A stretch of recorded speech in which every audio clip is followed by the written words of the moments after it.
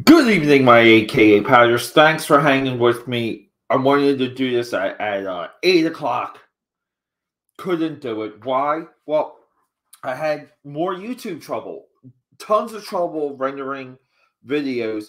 Had to go through everything from the ground up. We I figured it out. The my current YouTube video that's now live, which is further James Gunn DCU analysis a little bit of a hot take, even though you know I eh, these these YouTube videos are getting to me because I do feel like I'm betraying a chunk of myself doing what I consider hot takes, but they grow the channel. People do like them.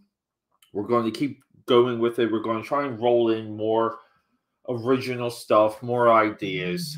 But if you're if you're new here, if you're just joining me, subscribe, support, leave a comment, drop me something in the chat. And, and what are we drinking tonight? Well, we got our turtle green drink, and uh, we got some coffee too. This coffee's from earlier. Actually, I'm not sure when when this coffee's from. Ugh. Oh my god. Okay, I can't drink that.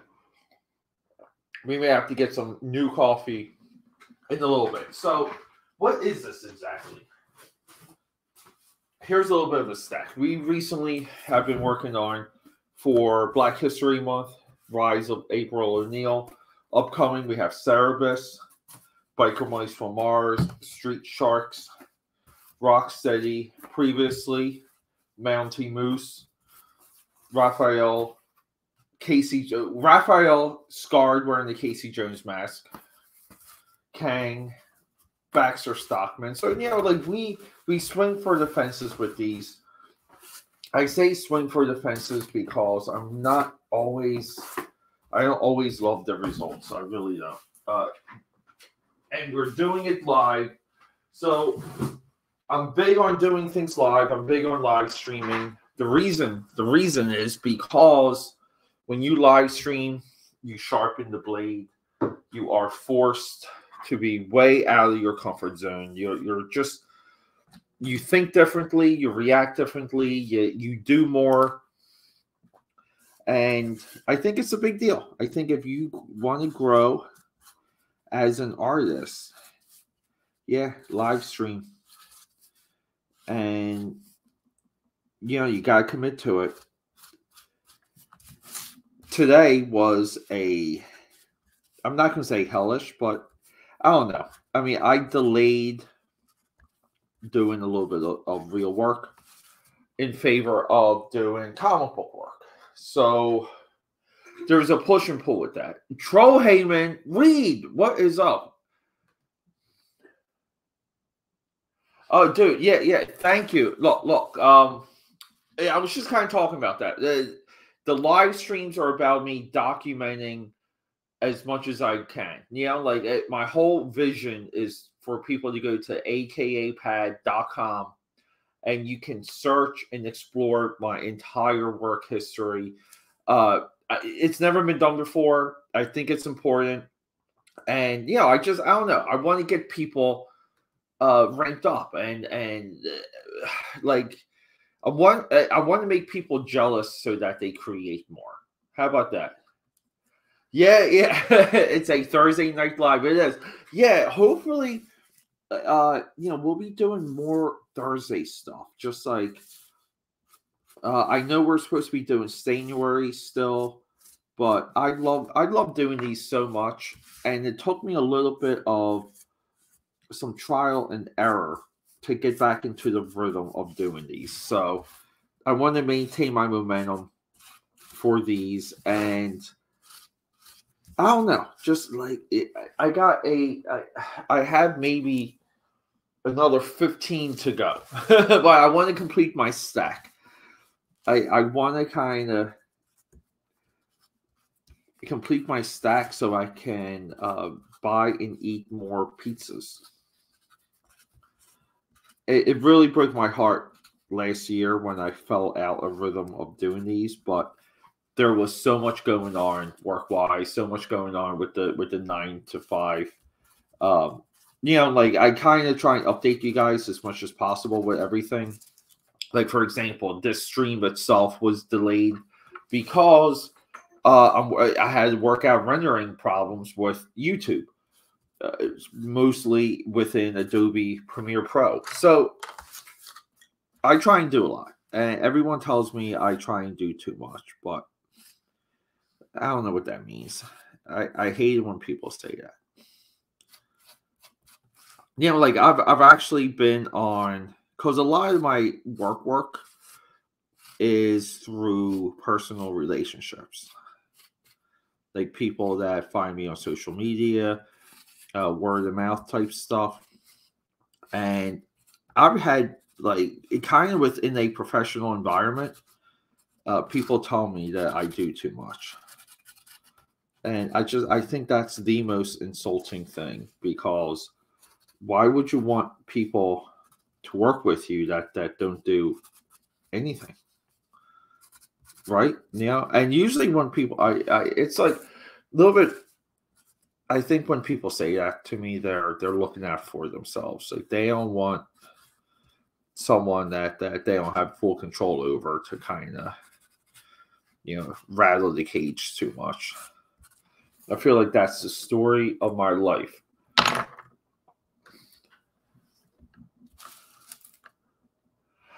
Yeah, Nina, wait. Um, that brush pen. Let me see. I think I have one of those. I mean, I'm documented. To, I'm very big on the Pentel brush pens. But which one is this? Is this one of them? Right here. I couldn't. I really couldn't get into a rhythm of using these. Uh, I don't know. It's. I think when it comes to brush, it's it's the same with these. Like you know, I spent years developing a feel for uh, practical or, or, or real brushes, we'll say, or brushes, brushes.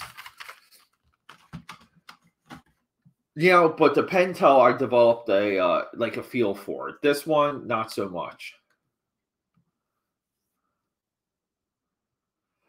You know, I I go back and forth. I've spent time. It's like I feel like I spend time in in every single one of those arenas uh, troll.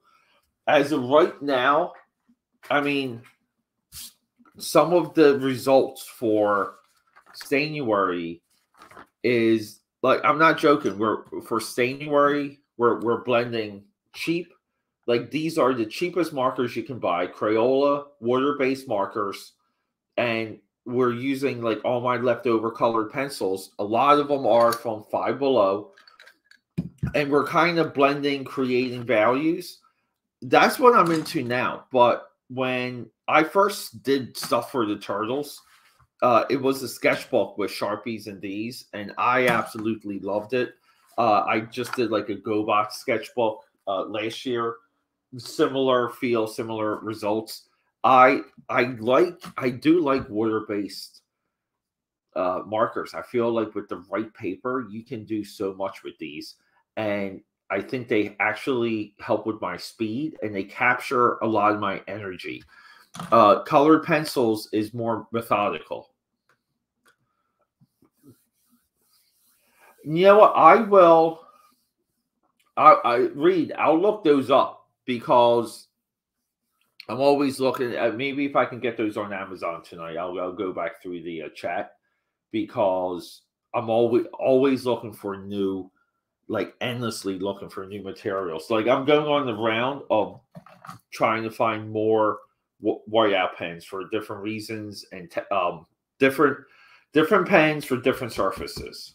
Uh, it's that's the big important thing. You have to know your surfaces. So real quick, does is everyone familiar with what we're drawing here? This is the the pizza monster from the original Turtles 80s, 90s cartoon show, and these were like xenomorph alien ripoff characters that ate pizza. And uh, I think they just got a bit of a action. They got some action figure love. I, it might be Ser, uh, Super Seven or Series Seven, wherever that company is called. I believe, uh, or maybe it's NECA. One of them is doing a full line of these these guys, and I think it's hilarious because uh, it really is weird that uh, this design never got a uh, like from from the original original line. And uh here we'll we'll do uh I'll show you guys real quick. Oh, excuse me. TMT Pizza Monster. yeah, th- there are new toys out. So here, like, how did this not get a toy in the original toy line? Like, w- do it. Like, just do it. I don't know.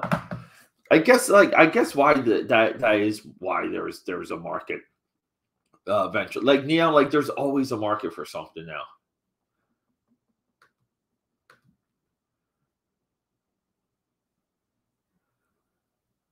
Yeah. Um.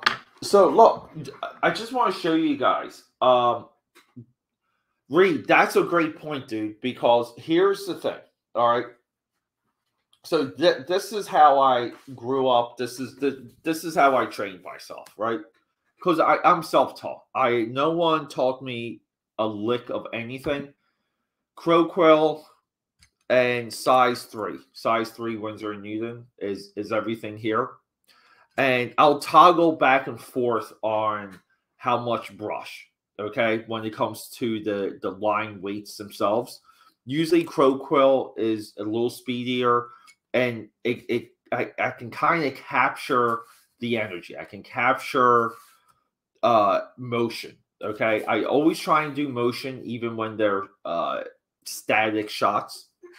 But let me show you what like where we what we can do with micron. So with microns, okay, I mimic with microns, I mimic what I do with Crow Quill.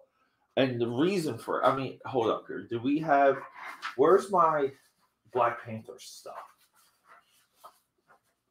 You know, I, I lose artwork like you, you guys wouldn't believe. So, and here's here's some of my Black Panther stuff.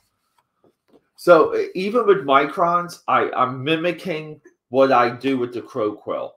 The reason for that is I kind of can practice back and forth, and and with the microns, since I can, I'm so much faster with them because the crow quill and the the black India ink, I have to do things a certain way so stuff dries. So I can kind of like sometimes I'm not really good at moving through the piece. But with the microns, I get to experiment with uh, some of my cross hatching styles and where I'm identifying uh, the mass, meaning where where's that light, where's the shadow, single light or double light. These are all decisions like you make along the way, and the microns help like determine some of that. I can kind of um, think about it differently and I'm fast. So it changes again when I get to the crow quill. Like the the um that's where your technique and the craftsmanship grows, not not the optics. Technique and craftsmanship is how you handle the materials. And I used to hate microns. I used to curse them. I still do. But when I do quick work like this, I grab them and I think that's a little bit of the uh, fun of it all, right? Like part of the fun of it all is never saying no to anything, keeping an open mind, and you know, just again, like keep keep going, keep creating. Uh, along the way, uh, take a step back and don't be afraid to evaluate yourself. Don't be afraid to give yourself like like an editor's look, we'll call it. Uh, the ed- editors of the 70s and 80s of comics. okay. 70s, 80s, and the 2000s. Okay. Do that. Don't don't do modern day editors. Stay run for the hills with that mindset. And uh, let me see. Like we're you guys got me talking. I'm already I'm already 15 minutes in. But hey, anyone joining me for the first time, uh, thank you so much. you know, I always appreciate the time that you guys give me. I really do. It is meaningful. It means so much. Uh, I love it. I look forward to it. Uh, you know, like even even with some of these, like some of these, I get no one. Like some of these that I do, no one pops in, and I, I, it just I get so depressed. I hate it just when I'm alone. Uh, I could have one person uh, hanging out with me, and I, I think you know, like it makes me love the internet. Uh, and real quick, right, we got to do some promotion. Uh, we got some new videos, guys. We have James Gunn is blind, epic comic book haul. Uh, I, you know, I really this haul here. Uh, I was able to. I found some of my own uh, issues at my local comic shop, so that was fun. Quantumania is mid. Uh, Marvel, the Marvels, that's the uh, upcoming Brie Larson movie, is dead on arrival. So check those out too.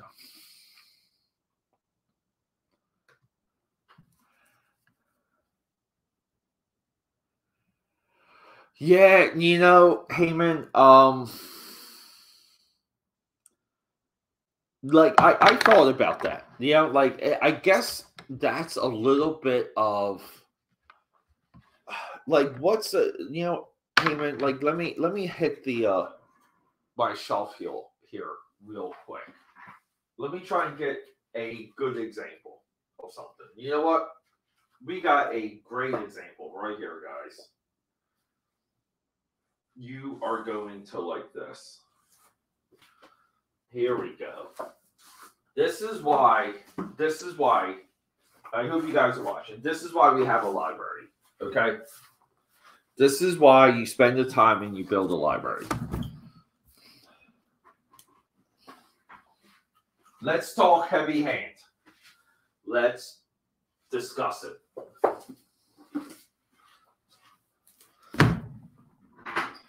These uh, black and white Noir books are cheap, and they're they're some of the most valuable things you can buy if you treat them well. Meaning, not all of your drawing answers are in the stack, but you can if you dig hard enough, you study hard enough, you can you you can find correlations. You can connect some dots. So let's connect the dots with with Heyman's comment here we can say Jim Lee and Scott Williams, no heavy hand. We can say slow and steady hand. We can say uh like no pulse almost. Like it's it's it's just exact and perfect, right? I mean, I think we can all agree on that. We can all agree that the line work of Jim Lee and Scott Williams is perfect. But then let's get into, uh, honestly, God, what I consider to be uh, second greatest comic book anything of all time. Uh, we all know I'm, I'm big on Watchmen. It, it to me it, it is Dark Knight Returns. Uh, then we have Maus. Uh, you know, um, maybe the uh, the original Turtle issues is, is number four.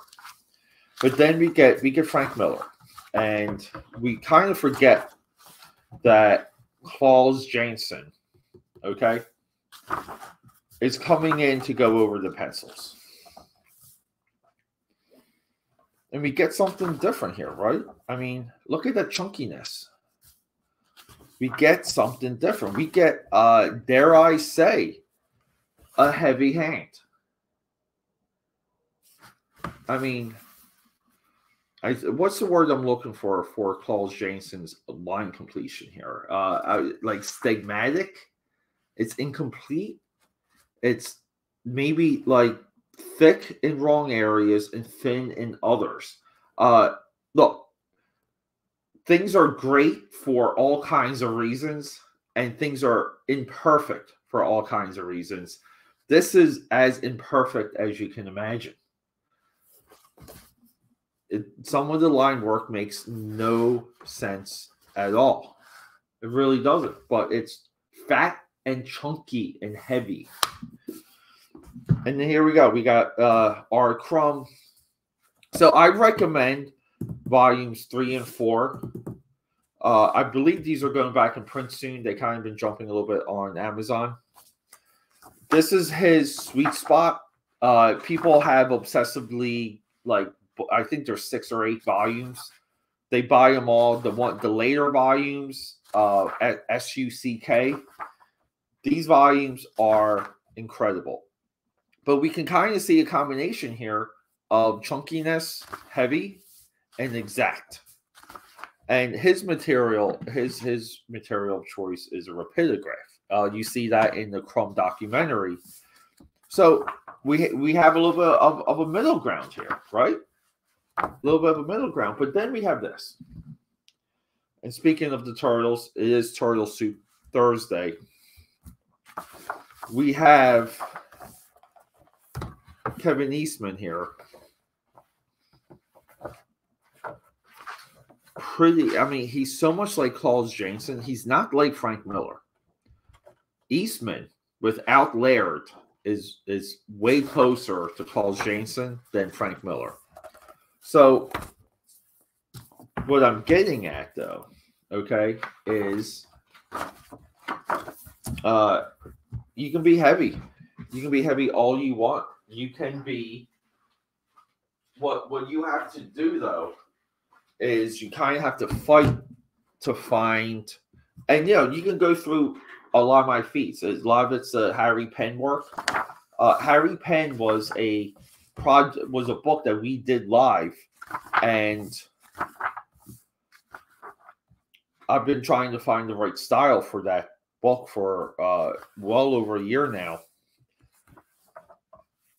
But you kind of see here too where it's just you know it's more heavy, it's not exact.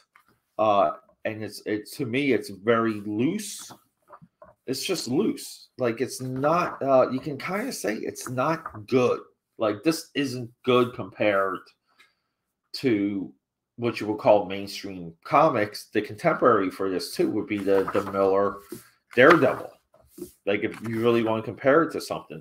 Um the zipatone saved this entire effing book. So if you're heavy not a problem. I you know I I love it. You know I love a lot of times too. Like if you ever want to play an editor, yours like your style, like an editor should be able to look at any style. Like an editor should be able to look at this and say, "We have a project for you. This is what you would excel at.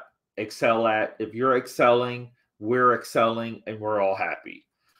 That's what an editor does. And that's what I mean when I say wear the editor hat.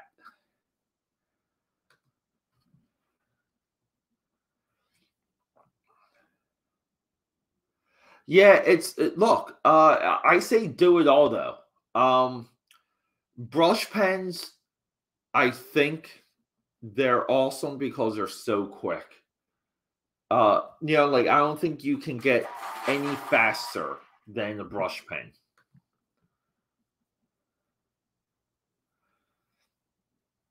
yeah um i'm always trying to get better with blacks by the way i don't think i'm good with blacks at all i think i'm horrible with them uh i i still feel like even now i have a lot to learn and this is where is it here right here. So this is this is one of the books. I actually look from my bookshelf. I just grabbed it. Dynamic Light and Shade, Burne Hogarth. Uh, this is like the only thing you need to read what when it comes to the techniques, the philosophies, the points of view on shading the figure. I do not I haven't memorized enough of this book, and I, I and I don't reference it enough. And you can see, you can kind of see a little bit of that spine, you know, with that light reflecting off of it. I mean, this book is used. This book is used. Also, R.I.P. Pearl Art Store. I remember buying this, so I was so happy when I found it. So you have to kind of get into Burne Hogarth, by the way. You really do. Uh, I think he's got six books: Dynamic Anatomy, Wrinkles, Light and Shade, that's the uh those are your top ones.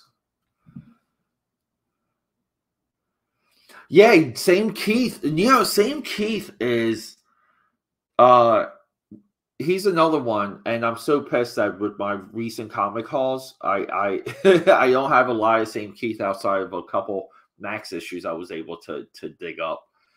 Sam Kieth is I will always buy any of his I would say like pre homage comics work or or Oni Press when he's doing Onji or Zero Girls or Four Girls. Uh, I think I have Four Girls, but the point I'm getting at is that there's a period of Sam Kieth that I actually do I have that here? I thought, you know, I thought I I got a black and white Sam Kieth something here. And I'm trying to it's something aliens. Uh, and I'm drawing a blank. I'll remember as soon as the stream's over. Oh, Devil Flyer, what is up, boy? thanks for joining us, dude. It, this is becoming a hangout session, and I'm not. we're not working on our piece too much here. What's wrong with us? But let's. Hail chat, yeah, I know, dude. You got you guys are the absolute best. And keep in mind, we are. I'm still heavy of working on the AKA Pad Army the first uh, the first book we put together. That's going. It's it's a book called Harry Penn. Uh, Harry Penn is a chatter that used to come in and uh, he's just he would just be awesome. He would just say the most ridiculous stuff. and uh, the character this guy had in chat kind of became uh, a real life character. I don't know where he is. Uh, he was on Twitter for a little bit. I was chit chatting with him and he kind of disappeared. And I just hope everything's all right with him. But uh, you know, I owe the chat and the AKA Pad Army a AKA Pad Army created book, and that's all going to be available in my on my website. I haven't created a, a Harry Penn page yet, but the whole idea is like you can kind of trace like everything about that that character and and go to the live streams and kind of yeah like i guess my idea too is put together like like this harry penn movie of us creating you know the character and the book. Yeah great tarzan artist like no joke um probably the greatest tarzan artist like you, you kind of have to say um even though like tarzan is uh an artist character. Uh, even like the Joe, like I don't know if you ever saw the Joe, the Joe Jusko, Jusko uh, trading card set. He did like two 60 card sets in the late 90s. Uh, I've been dying to get boxes boxes of those to do like uh like a box break. Uh, the box breaks are coming back too, by the way, guys. But yeah, Tarzan is it's almost like you know, like how like um like film film noir or like like a detective story is almost like a filmmaker's playground. And tarzan is that for an artist. Like any artist that doesn't have their own point of view of tarzan or crave to draw that character uh it's hard to trust them. It really is. Uh i remember there was one time too like way back. I forget i was talking with someone you know and I kind of came up with the idea that if like let's say I was running like a comic company and we had to like you know find talent and do all this stuff, what I would do is I would have my uh you know like my talent script that people could kind of draw from. I would it would literally be Tarzan in the jungle and then Tarzan in the city, but it would be Tarzan you know, and I just think that character, and you know, again, two two separate settings, it all makes sense, uh, right? Like within the character, you're not stretching anything, and just knowing how old that character is by this point, it's just amazing that um you know like you, you can use it and then you can gauge you can really gauge an artist's uh, an artist's um ability just through tarzan guys and that these are some of the, the ideas and the concepts that I think are gone when it comes to modern comics. Uh, you know, and sometimes like I'll reach out to people that I see post, and they'll be like looking for this or looking for that, and I'll be like, hey, I'm like, uh, no problem, like no problem. Like, what do you need? Let's get it done. Uh, what's the deadline? Uh, I'm usually really fair when it comes to pricing too. Like, uh, sometimes depending on the project, I'll just you know just say fuck it. You know, like just give me the work. We'll work out pricing later. Uh, I've done that a lot actually. I'm not afraid to to do it. I'm not afraid to admit it. Uh, I don't think it diminishes me at all. I think it actually um, makes makes you better because if you if you agree to work at a rate that you're not like hundred percent with, if you do it in less time, you make more money. So the the quicker you can sit down and just like fuck it, like no artist block, no writer block, you can just sit at this chair and do it. The better you are with that, the happier of an artist you will be in life.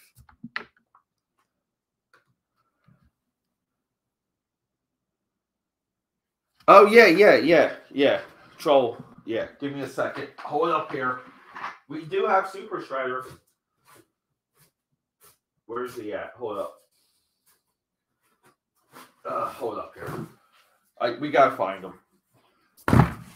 Okay, I'm I'm going to kill that so we can see. We have Mondo Gecko, uh, Chrome Dome. Uh, I hate Chrome Dome. I want to redo this one so bad.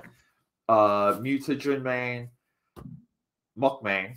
We do have Joe Eyeball. Oh, the villain guy from Toxic Crusaders.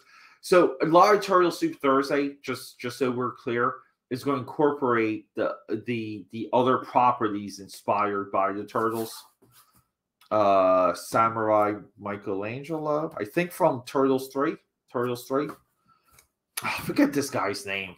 This is what the final years of the original show. This was the alien guy. Space Usagi, Pizza Face.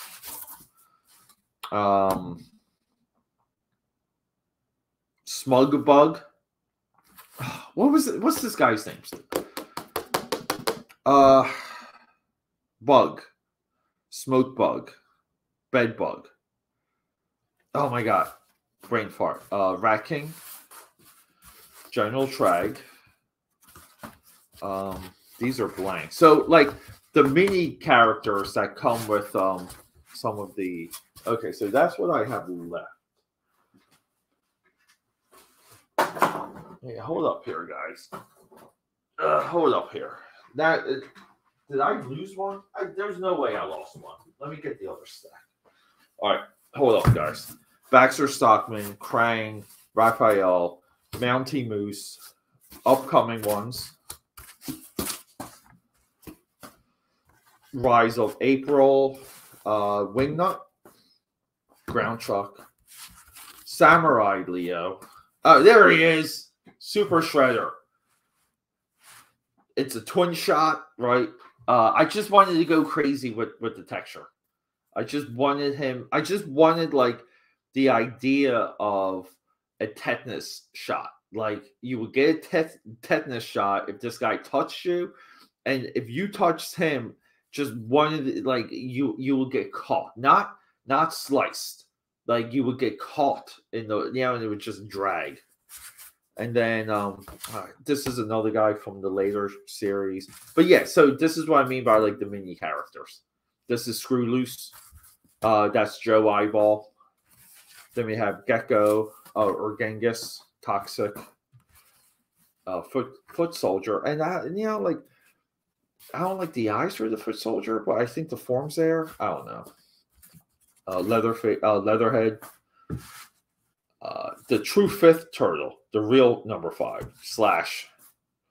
Uh, one of my favorites, one of my absolute favorites. I've never watched any of the cartoons with this guy in it, but this is Meat Sweats. Absolute original, awesome character. Like beyond awesome, great name. Michael Bay, Donatello. It's not really just Michael Bay. You know, like we have to remember these movies had other directors. Michael, it was just Michael Bay's Michael Bay's production company. Yeah, so the goal is to really clear out the rest of this stack. So we don't have too many, right? We don't have too many, but we got some little guys for the minis. I've been saving this square one for like SpongeBob. Gotta do SpongeBob, guys. You guys got me talking all freaking night. I, haven't even put down any color yet. Yeah, I know. Awesome Super Shredder. Dude, Super Super Shredder. Like how I I I get right how how what happens to him at the end of Secret of the Ooze? right? The the whole everything collapses on them, right? The uh they're they're at the docks at the the river docks and the, the river docks collapse onto him. Does he bust out of that? Like, does his arm come up at, at the end of that? I just don't understand how you, you have Super Shredder, put that effort in everything. Like, put him in the next movie, put, put him in Turtles 3. You do the live action TV show, put him in. You do the uh the Turtles on tour, put him in there. I don't know why, man. Like people's egos get get in the way sometimes where it, they just want their stuff. I think that's what you're seeing with with the James Gunn stuff. Like that's all ego. I know. I I've been wanting to do something with that. By the way, like artwork wise, of doing like like outsiders NWO kind of like Kevin Nash like mashup. That that's been in, in on the tip of my brain for a long time now. just going through some of those turtle drawings too, uh, or those previous turtle supers. Uh, just like, geez, like now, like I spend so much time coloring now. I used to crank them out in one hour. Like that was realistically what what I could do. And now it's uh, you know, they are multiple hours because I want more out of it. I just want more from the uh you know, like the overall look of the um, cardboard pizza, we'll say. So some of the like some of this is already too light.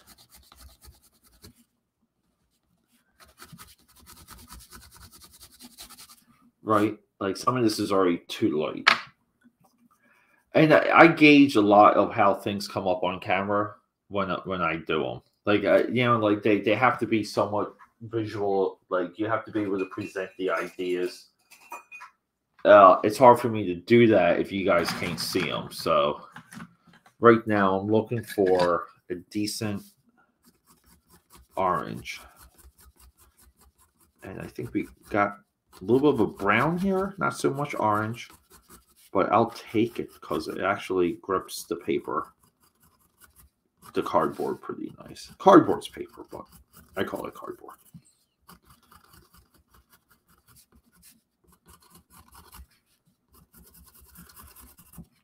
Yeah, but that's just one of those awesome like pieces of, of trivia, the, the whole Kevin Nash thing. Like, or like it's almost like should the mashup picture be Kevin Nash and um that wizard dude, like when he premiered in WCW? right? Like, wasn't he like the the Wizard of Oz? Was something like that. But dude, like that's the stuff. You know what, dude? Guys, we're we're going to do that. I'm going to do that. We're we're going to make that mashup piece. We're going to do Kevin Nash. Like, I guess, like, should he? We'll we'll do it a certain way. We'll do it like so you, you can tell it's Kevin Nash as Super Shredder, and then we'll do the uh, Oz. Like we'll we'll do a cool cool pose.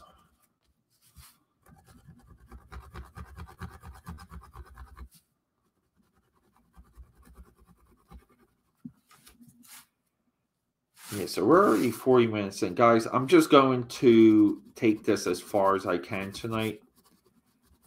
And uh, you know might have to complete some of it off camera, or like I kind of was debating because with all the Sanctuary stuff, I really like the idea of just again like um like kind of like you know like plowing away on Sanctuary, plowing away at that do-it-yourself uh, comic book, but at the same time doing like makeup sessions where it's just me kind of toggling between all the different prompts and all the different pages and kind of like just working in a uh you know like a good range of, of um, materials and stuff too.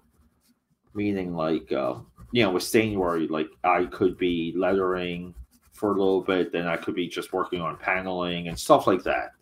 And i'm thinking about doing something similar for here where i just do like a turtle soup thursday makeup session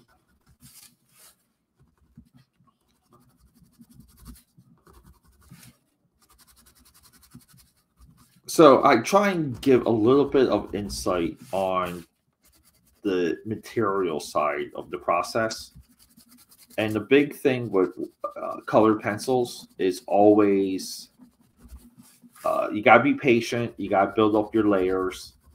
Try and put down your mediums. Like for example, like if, if this was red, uh, we we we might want to do the undertone with the red with like uh like an orange and then hit it with the red and then go over it with with the yellow.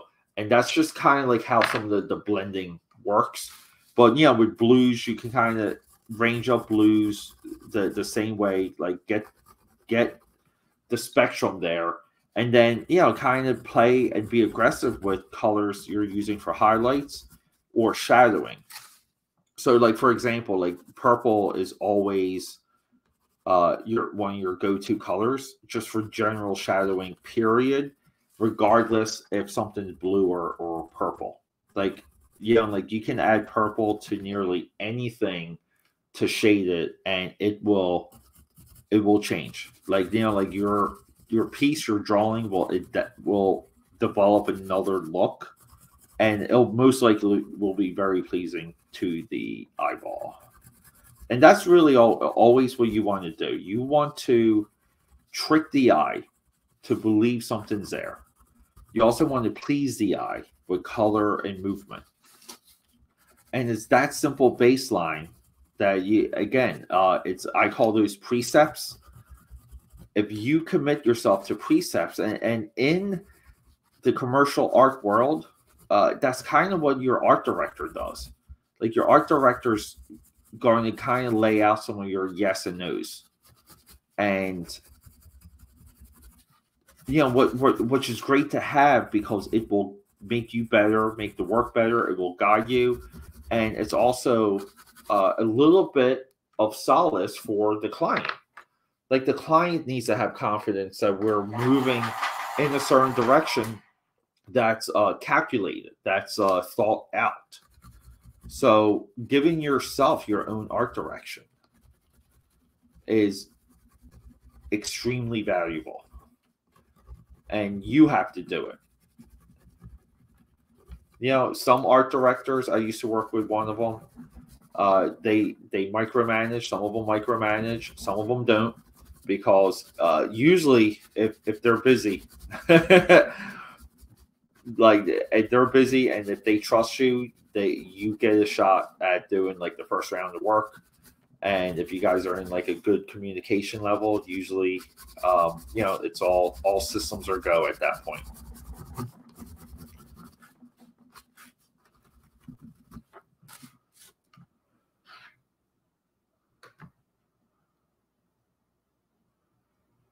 Yeah, in the Royal Rumble, yeah, Turtles versus Classic W.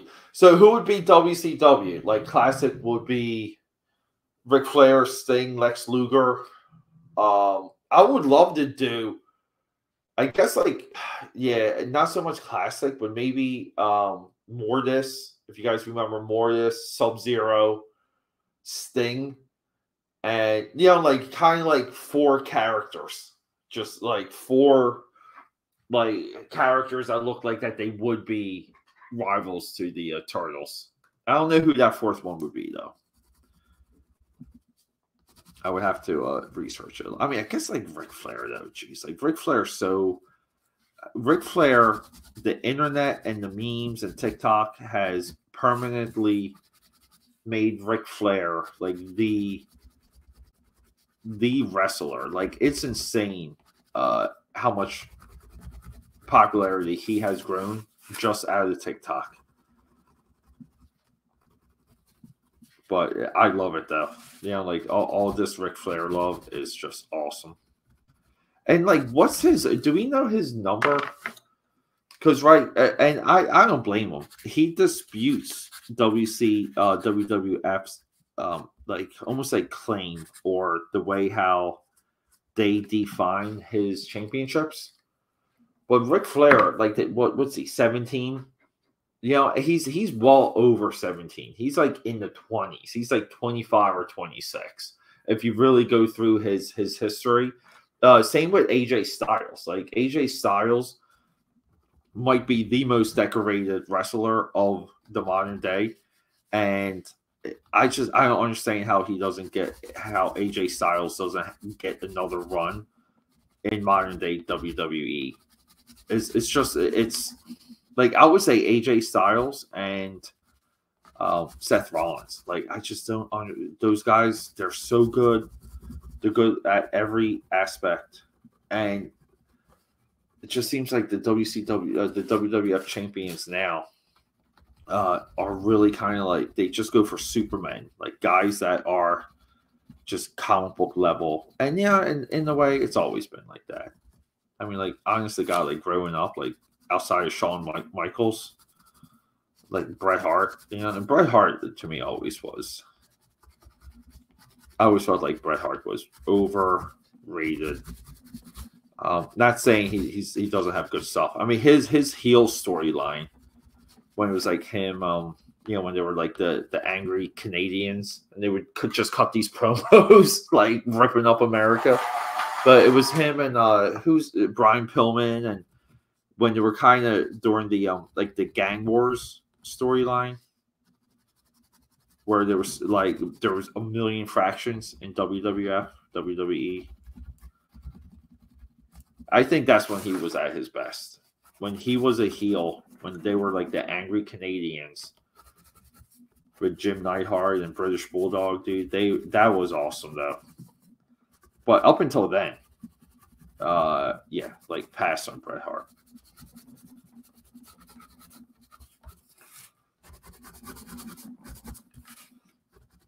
And then, like, I guess outside of um, the girl, right? Like everyone every Hart of the Hart like dynasty just failed in WWE. Isn't that funny? Except for the girl. And you're just like, how like how's that possible? Like, how does every single Hart wrestler fail in WWE? I want to know that. You guys get sorry, I'm just going on and on here.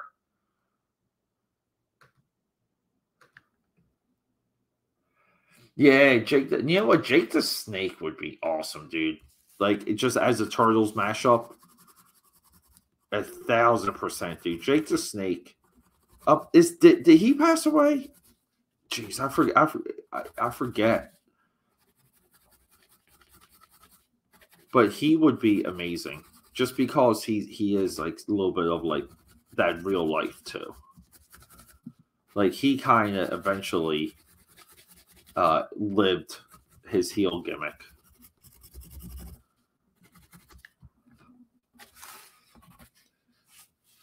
And I kind of want to say that, like, do people not care about what wrestlers are, and like, have you know, like, kind of have ailments or technically are probably on like life support on some level? I just feel like everyone's moved on from from that. Where one time it's just like everyone was like learning about uh, Scott Hall, Ric Flair. Like it was almost like monetized, and now it's just like no one cares. It's that's sad actually, right? Because I think we just uh, someone else just passed away.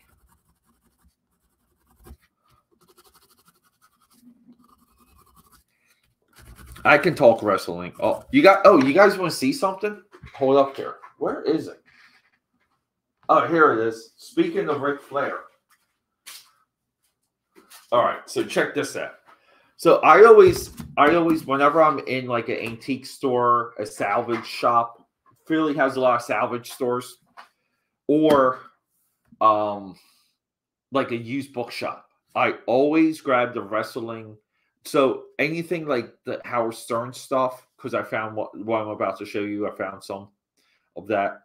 But there's there's certain books that had like really big tours and you know like thousands of people showing up at some of these signings and there's a lot of autograph books in circulation. So this book like it wasn't 20 uh all their hardbacks were like four or five bucks. But here we go. Yeah 16 times. But yeah signed by Ric Flair. You know so you always look at the wrestling biographies because the promotion tours for these were insane. And WWE and WWF was so good again at monetizing it. They made events out of some of these signings. Uh, yeah so I always check them out.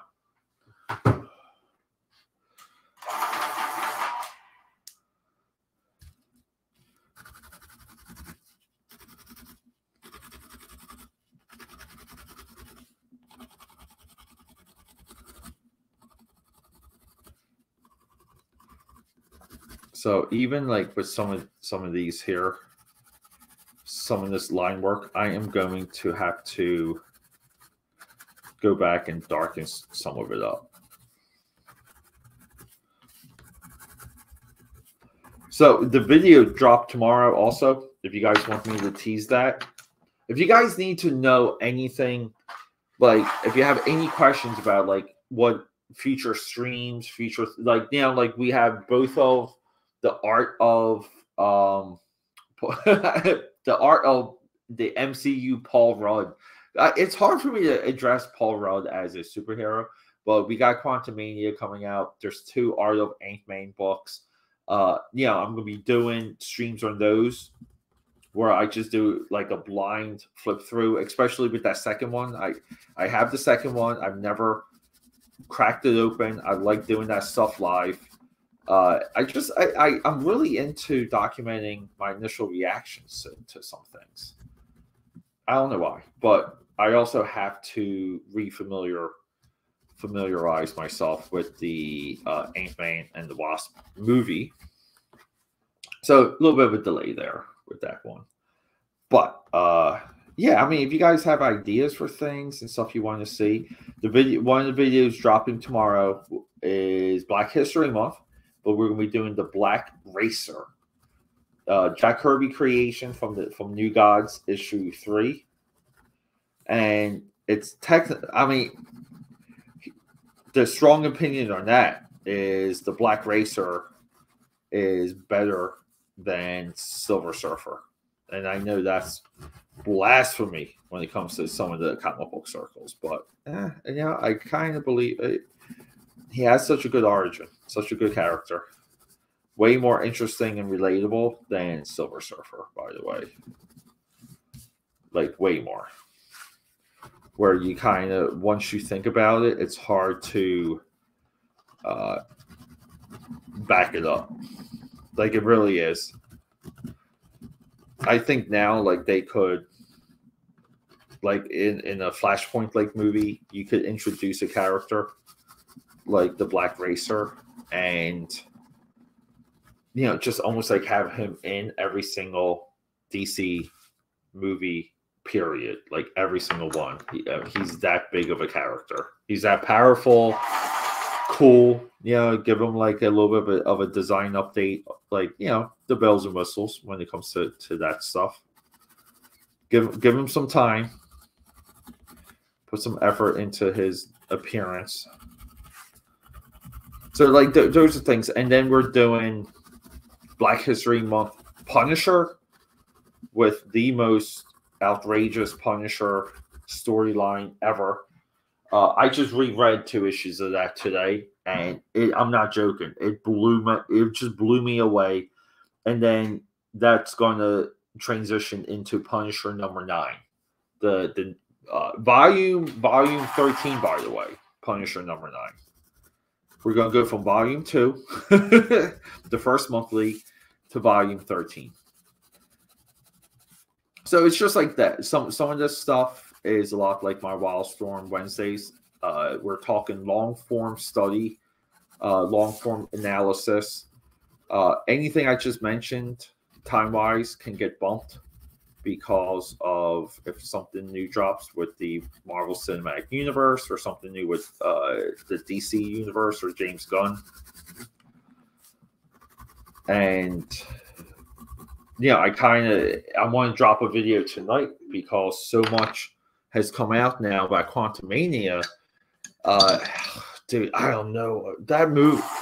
That the, there's spoilers. Like I, I won't talk about it now, but in the, the that video, I'm definitely going to be dropping uh, spoilers because uh, I I cannot believe the uh, direction that they chose with Quantumania, like the, the actual things that are happening. See what I mean by like popping in purple?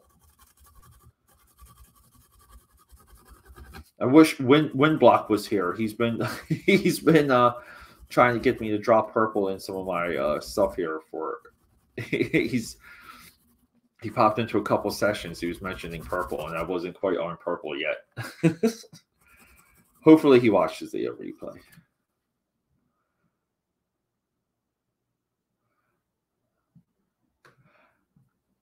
Yeah, I'm reading blood Bloodstrike 3. Yeah, car. Yeah, dude, dude, you know what? Uh, yeah, troll. Give me a second. Let me. I gotta grab something from Carl. Uh, cause I this this I wasn't even aware of until recently.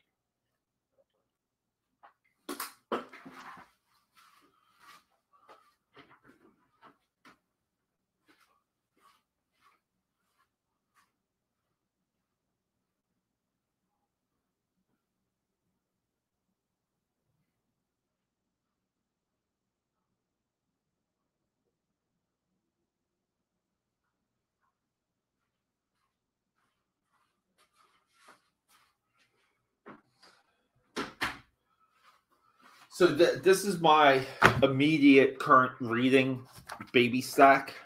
Uh, ju- I just have to say, the new Shadowhawk is so masterful, and this nearly like I almost just want to hit eBay, buy a whole run of this, and just take my time absorbing it because I never knew Shadowhawk was like this good. But then again, we do as I, as I highlighted in the um the, the whole video. Kurt Busiek wrote this, and it is it's just it's phenomenal. It's the best shot of the Hulk has ever been and ever will be. Uh the McFarlane Daredevil issue. Uh this is a toy edition. I didn't realize that when I bought it, but I paid like a dollar something for it. Um, so I'm 50 50 on presenting it because it's not the official official, but uh, I'm anxious. Black Racer. This this drops tomorrow. But then we have this, guys.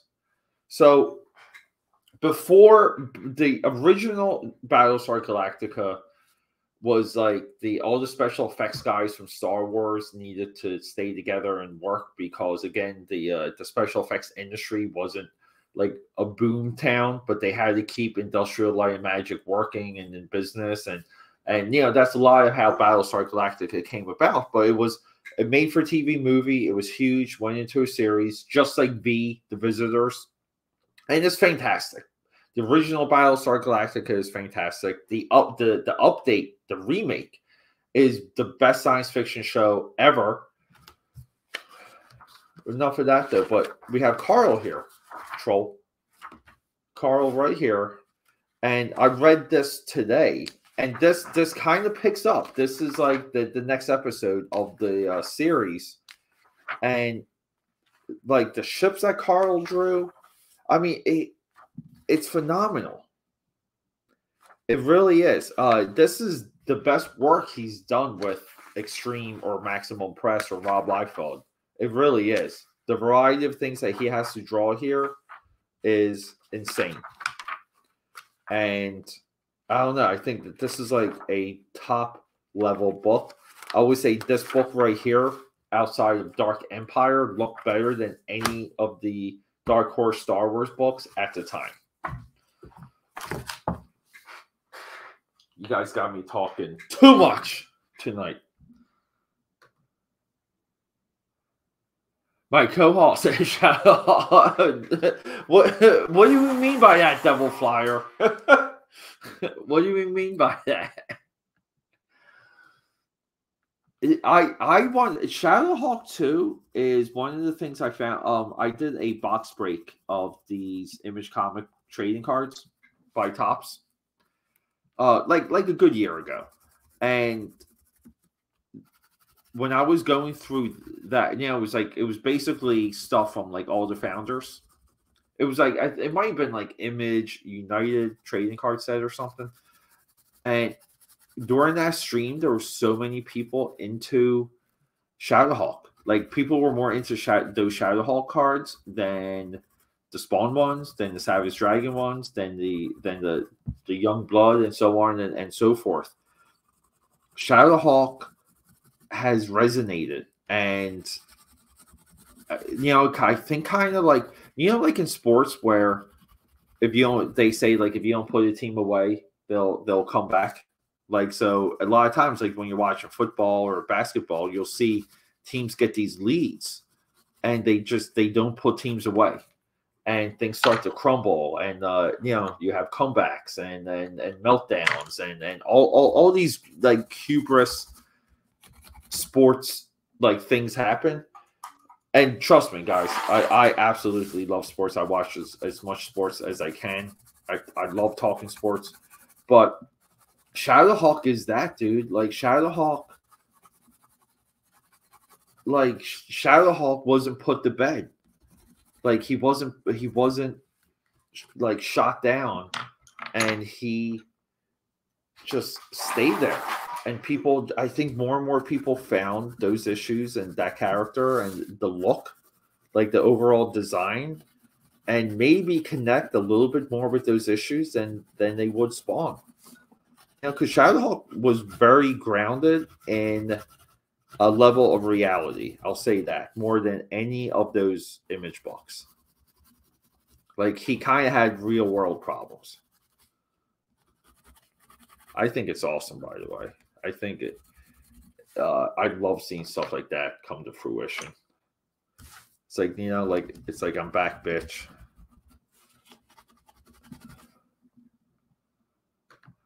Oh, my channel. Dude, what um if you guys want to uh do something, let me know, Devil. I mean, if you if that dude's name is Shadow Shadowhawk, I want I definitely want to stream and hang out with with you guys. I mean, we could do a lot like this, or I can have you guys on if if that's something you want to do. And uh yeah, I know a lot of times, like I would have all of my, like everyone that pops in eventually on camera with me, but a lot of people are very shy. So I kind of don't like. I always used to DM and like kind of like bug people, and I think people would be nice and kind of give me like kind of like yes me to death and stuff like that. But I kind of slowed down with it, and that was kind of a little bit of one of my New Year resolutions too, was to uh, do more collab streams. Even though like a few years ago I was very heavy on it, it just kind of uh, it just lost momentum, or I lost the momentum to to do it. A lot, of, uh, a lot of the back and forth with the scheduling, and a lot of my availability though can go from like I can do it to I have to handle this. Like there's something else that came up. And I know that sucks. And it's frustrating. So I kind of I also wanted to spare people that.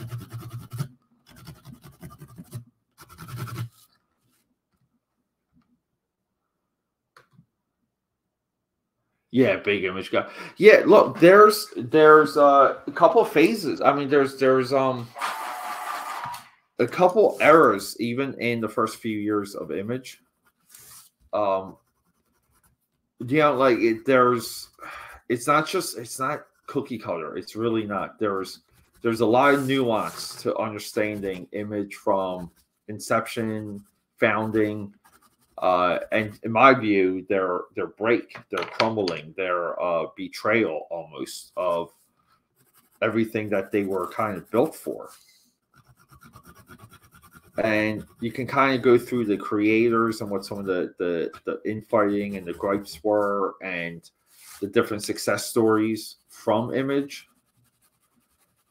And yeah, like there's so many different angles, like different takes and I think that's a little bit too of how it resonated because it's so conversational and it's like no different than like the formation and history of a uh, sports league. You know where kind of like the history of the teams is as interesting as the teams themselves and their players sometimes even more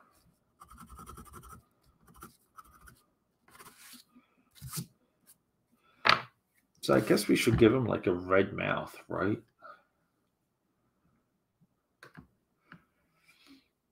Yeah. Oh, wow. You guys stream every day? Yeah. Um, can you just hit me up on the Twitter, the Twitter, just so, just so I can kind of I check. Look, I'm. I don't have it in in in in my moleskin book. I have uh, check messages every single day. Yeah, first three. Yeah, and you know what? Too, the first three years is really it. Um, you're pushing image at year four. Your uh, image is already changing drastically by year four. Okay, thank you, thank you. I love you guys are you guys are beyond great. I really like. Thank you guys. Well, I just I want to again like just connect. I want to push things further. I want to inspire. I just I don't I I don't hear that enough, by the way.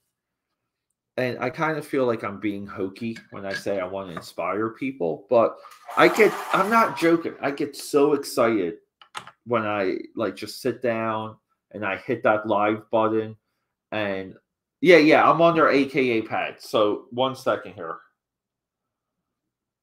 I can show you. Right here, Peter A. DeLuca, aka PAD. But yeah, yeah, like I really do. Like I want to like get out there and reach people. And I don't know, like I just feel like yeah, like at one time, I think everybody was motivated by that. Like every every kind of like creator or someone that that that had that type of energy about them. Like Jack Kirby probably said that at one time, and Stan Lee and Walt Disney. Like you kind of want to inspire people. That's it's a noble like notion. Yeah, I don't think it's egotistical or like anything like that. And even though I'm sure some of it can come off that way. And it's not easy. It's not easy to try and do a video every day.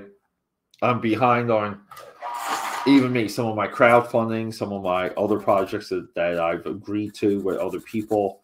Like, you know, like I'm always behind. Uh, you know, we do work here in the House of PAD. We have a absolute high demand full time job. Like it's beyond full time uh, you know, but we we balance everything. We juggle. Uh, we maintain our our relationships and our families and our wives and our girlfriends and our pets. Like you, juggle all that, but you have to. Here we go. I think that that was you right right now. We let's verify. Oh, maybe not. I'm in my.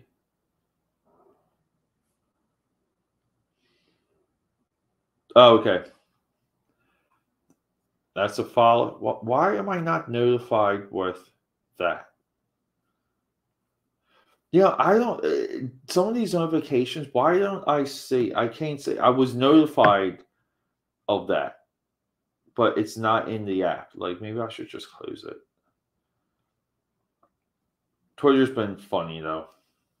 It really has, but it's software, and software is buggy. Cool. We'll get it done. We'll get it again. we will. Yeah, um four and five is a little bit tricky. But I mean, I think I could make it, believe it or not, I think I could make it work. Um I try and when I can kind of when like my world has calmed down, uh, you know, I've done streams as early as three o'clock. I've done streams like even super early in the morning. Uh, the last couple days, I've been waking up actually at five to stream around six or seven. And guess what? Like, you know, I get some of those work calls and those work emails coming in, and I kind of jump on stuff. Um, my goal during the business day, whenever I jump on something, is to get it done so I can do stuff with like you guys. Like I'm so single minded, it's not even funny. But uh I I think I can make it work. Let's just kind of again, like let's just start the process. Let's start it.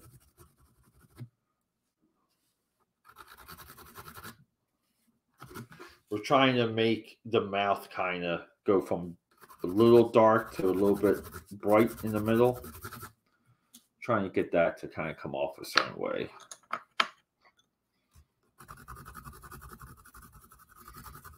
These Five Below color pencils freaking work though.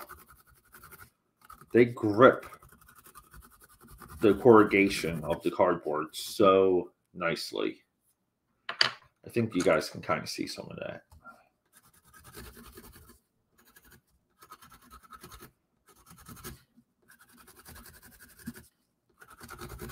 Yeah, and I will definitely uh Devil I will definitely like go through your stuff and comb it.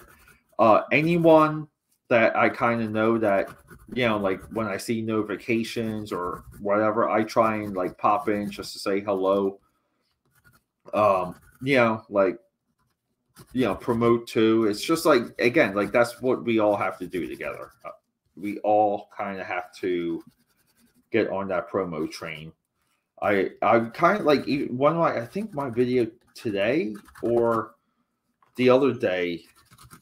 I don't know. I was doing a video on something and I kind of went on this little bit of a tangent on uh you know, like we're kind of like again, we're so obsessed with these other things, right? Like we're obsessed with the Marvel Cinematic Universe. We're obsessed with the DC universe already. We're obsessed with Star Wars.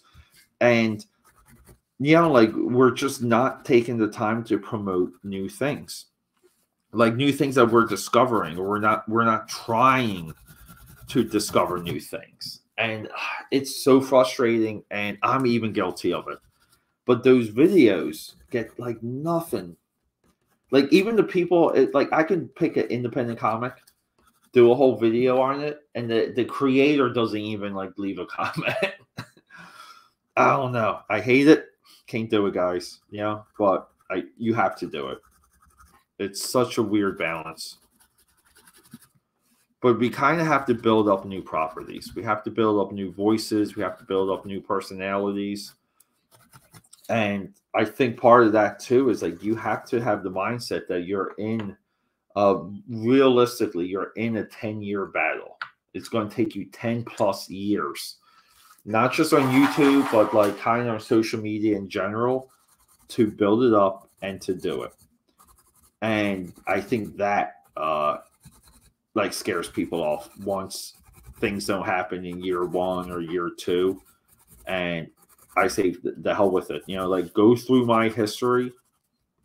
this is one of the reasons why like we're all committed to akapad.com. But go go go through my history and look look at the amount of work I put into all of it, the consistency, uh, the love, and look at my returns. Like they're they're they're not even there. But the thing is, though, it's like you kind of have to also stick to things to get good, to get better, to develop an eye. Same as drawing. Like you have to develop an eye and a nose of what's good and what's not and why. You know, and and that's tough to de- determine, especially if you're in the grind. If you're in the regular grind of doing work, you it's you don't see the forest through the trees. You just that's not going to happen. But it needs to. You have to find a way to to make that happen. Well, we're getting there with this one at least, right? I kind of want some of this to be more translucent. Like a little bit more translucent. We gotta put some red through there. There we go.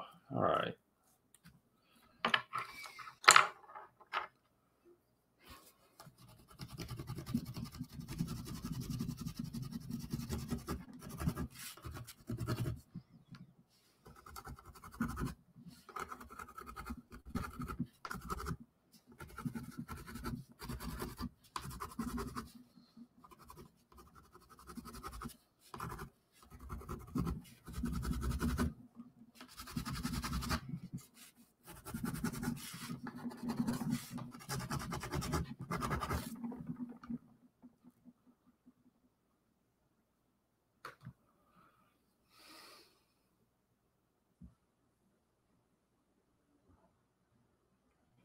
Yeah, dude. Uh, troll, dude. Thank you.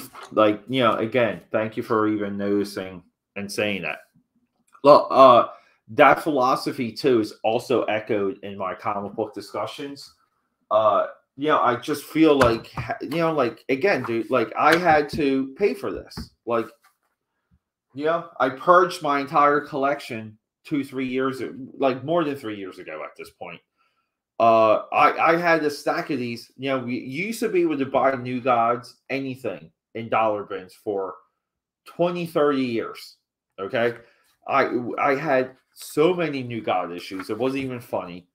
Uh, Eternals, Silver Star. These these were a lot of the Jack Kirby books you could buy endlessly. Jack Kirby, Black Panther. You could just you could buy wads of it, like wads.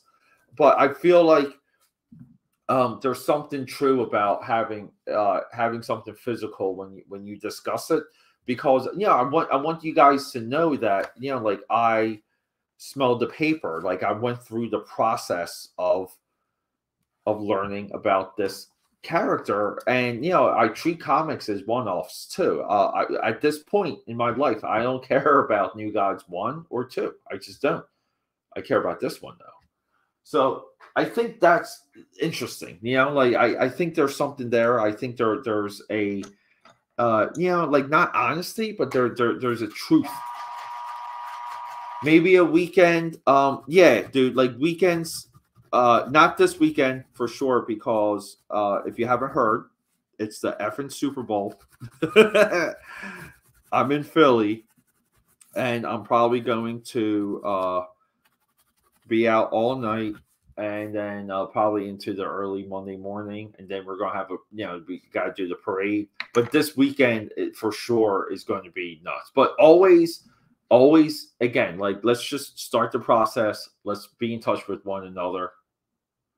Okay, excellent. Okay, looks up. Thank you, dude. Thank you. Thank. Yeah, these pencils are five below pencils. I bought these at five below. Okay. Now, some of the other ones you see, these are Spectracolor. These are the greatest color pencils ever made. They've been discontinued for probably 10 years now. I had a supply of them. Uh, I'm at the very end of the supply. I'm, I'm probably going to have to try and buy a little bit more off of e- eBay.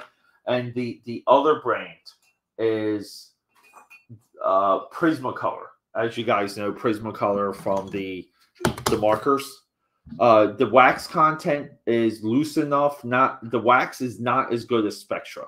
It's not. These two are not even close. But uh, I try and you know find a manufacturer that's close to this level of. It's like I say loose, I mean soft. Um, the five below ones are great because they're they're actually rigid. they're um, they're they're tough marker, uh, they're tough pencils, which is good because you can you can grind out some of the the blending. You can kind of have a little bit tougher tougher touch, I'll say. But let's get into the uh, FUN.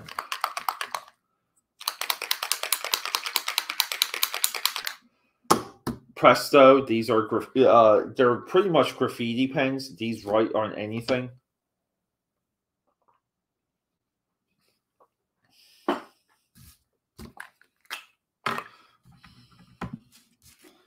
These write on anything, so but and when they're new, um, they're awesome. But this is how we do our highlights.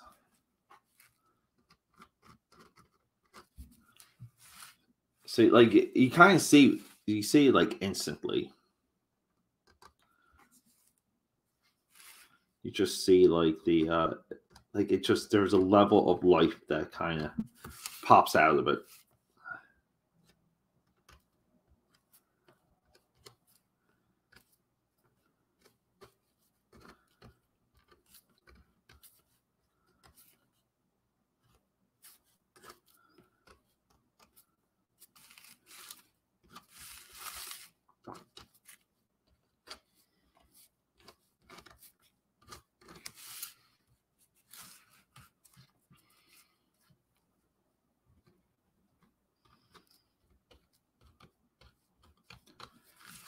Going to give his slime a little bit more juice, we'll call it. Normally, I I kind of don't highlight the slime so much, but I just think you know since this guy's like inspired by uh, aliens, Alien. Uh, I'm not sure how you reference that, uh, but since he's inspired by Alien, uh, you know, let's let's give his slime a little bit, a little bit extra. Here we go.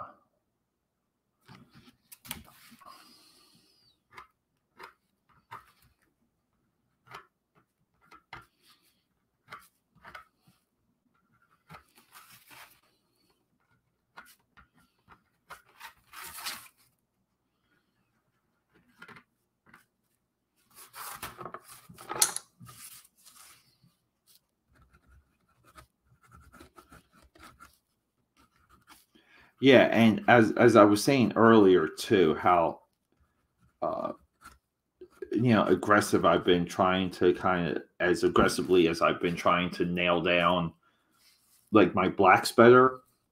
Uh, I've been trying to do the same with with my highlights. Like again, like kind of working in both directions, working polar opposites from from one another. But yeah, just trying to get my highlights better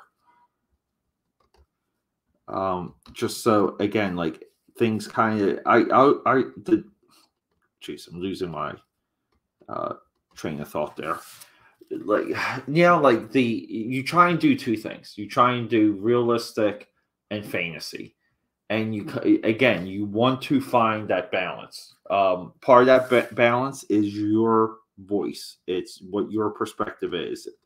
Um, that comes from just the idea that it's your perception. It's how you are seeing it. That uh, I'll tell you right now, you won't find in any FN art book at all. Uh, no instructor will tell you that or describe it in that exact same way. But you, you get it here, you get it with AKA pad.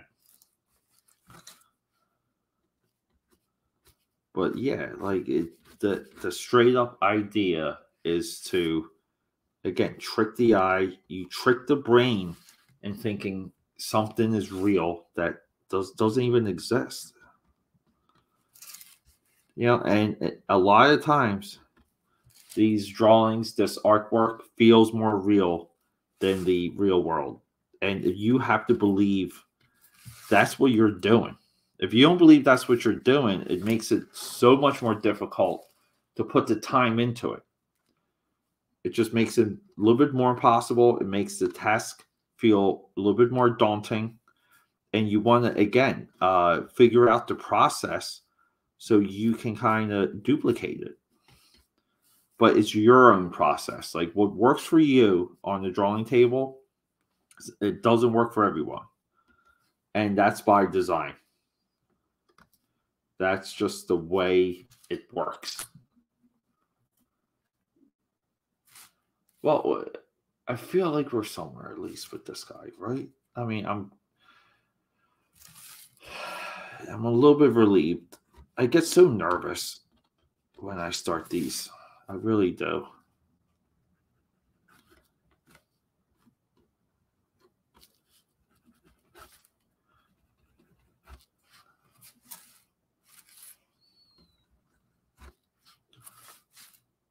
Awesome.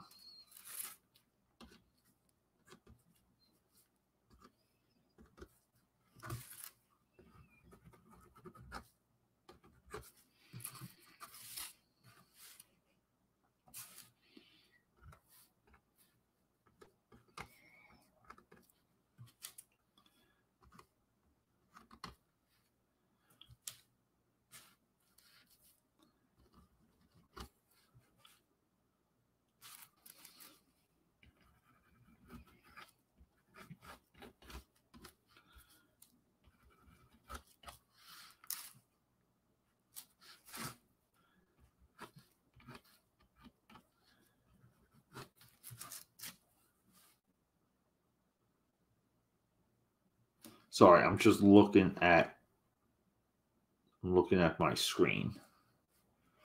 So like one of my tricks and this is another benefit from live streaming is I get to like I'm so close here, but when I look at my screen, which is this way, uh, it creates enough of that distance where again, like from from my perspective, it's this, right? When I look at the screen, it's almost like this big.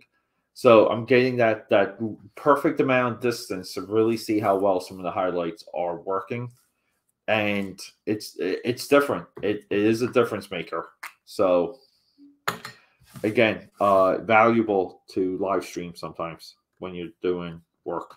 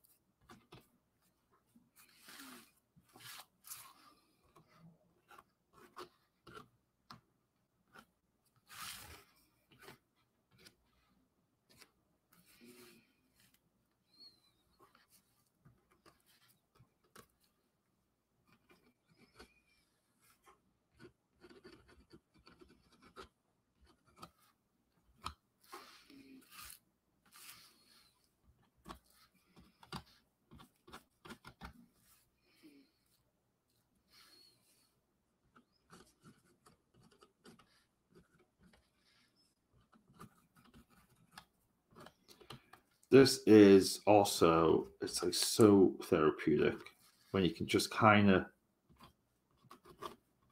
drift off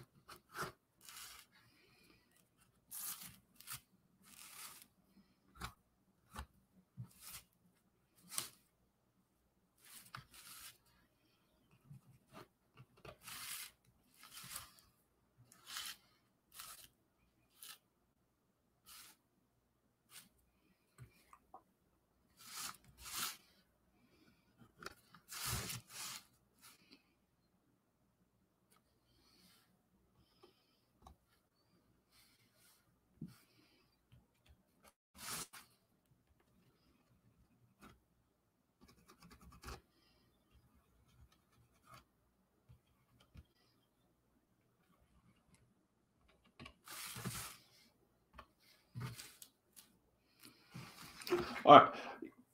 I think I need a little bit of this distance from this, but so definitely coming up, I'm probably gonna do yeah, like a makeup stream for this, not makeup, but like a touch up stream where I just go through like a pile of these and I just work on different portions.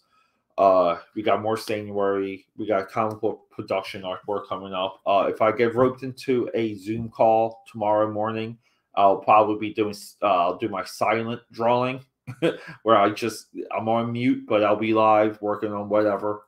Uh, usually it's whatever on, is on the top of my table at the time. But AKA Patters, holy shit, I love you guys. Great hangout session. Um, it kind of makes me want to you know, tune in at, at 10 o'clock every night, right? I mean, 10 o'clock might be the time. We'll keep going though. Rock and roll.